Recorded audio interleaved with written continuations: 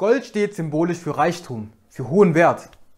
Man verbindet es mit Schmuck, mit Luxus, mit Wohlstand und mit Glanz und Glamour. Aber lohnt es sich in Gold zu investieren? Was spricht dafür und was dagegen? Willkommen bei Teaching Finance, das erfahrt ihr im heutigen Video.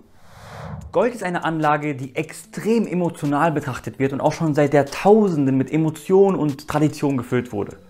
Es wird oft nicht rational genug betrachtet, ähnlich wie bei Immobilien.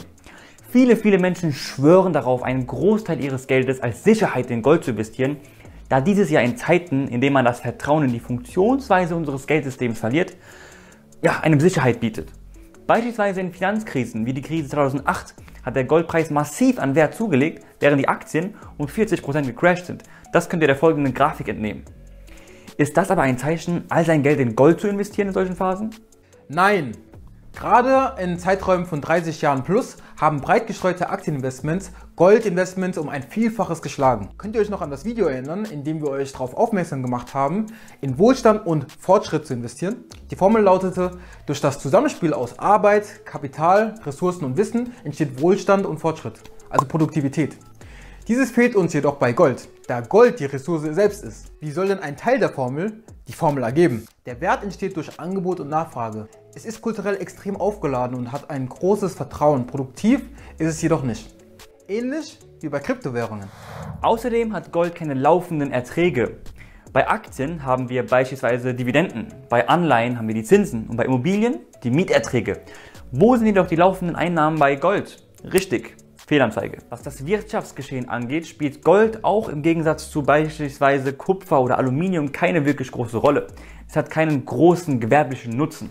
Wann lohnt es sich jedoch, in Gold zu investieren? Wann könnte es attraktiv sein? Es hat eine sehr niedrige Korrelation oder Verbindung zum Aktienmarkt. Es gibt keine langfristigen Parallelen, die zeigen, dass der eine Markt den anderen im Kurs beeinflusst. Es ist zwar kein Argument, dass Gold von anderen Sachwerten abhebt, jedoch ist Gold ebenfalls inflationsgeschützt. Es schlägt langfristig die Inflation.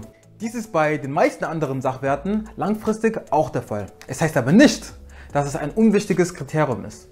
Gold genießt eine weltweite Akzeptanz und gehört zu den ältesten Zahlungsmitteln der Welt. Das heißt also, in Finanzkrisen, aber auch bei anderen Risiken von außen, wie beispielsweise Naturkatastrophen, Kriege, starke Veränderungen, hat sich Gold meist als sehr stabil erwiesen. Dies ist natürlich auch durch die kulturelle und emotionale Auffüllung begründet. Jetzt die Frage, wie kann man in Gold investieren? Naja, man kann Gold in Form von Münzen oder Barren aufbewahren in einem Tresor, ganz klassisch. Aber man kann sie auch über sogenannte ETCs, Exchange Traded Commodities, kaufen, die vergleichbar sind mit ETFs.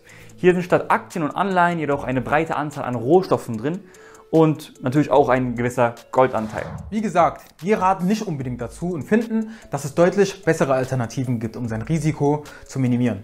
Ganz wichtig ist es, rational zu bleiben bei seinen Finanzentscheidungen und hier findet dann Gold meist kleinen Platz, maximal zu sehr geringen Mengen, auf jeden Fall aber weniger als 10% des Portfolios. Wir hoffen, ihr hattet wieder Spaß und konntet viel lernen. Was ist eure Meinung zu Gold? Wie viel Prozent eures Portfolios besteht aus Gold? Lasst es uns in den Kommentaren wissen. Ansonsten war es das mit dem heutigen Video. Vergesst natürlich nicht zu liken, zu kommentieren und zu abonnieren vor allem. Wir sehen uns beim nächsten Mal wieder bei Teaching Finance.